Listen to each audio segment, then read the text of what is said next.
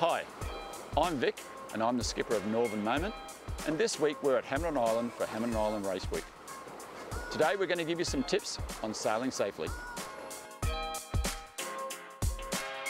Look at these guys here.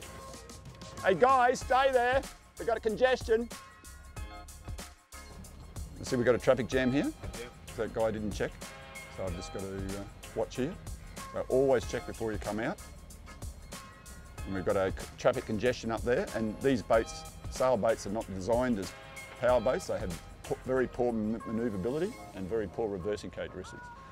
Always have the fenders ready. You come alongside a boat, and then put your arms and legs out. We, we put fenders over the side if we have to. Uh, we're uh, 1.9 and we've got an alarm going off there at 2.2 now. Not a lot of water. So we've got 2.2, I've got my alarm set at 2.5. Hear the depth alarm going off. I've got a little safety margin underneath that, but um, yeah, so we had in theory that much water under the bottom of the keel then. So again, communication. Yeah, so everybody gives a little wave, the body language, you know what everyone's doing then.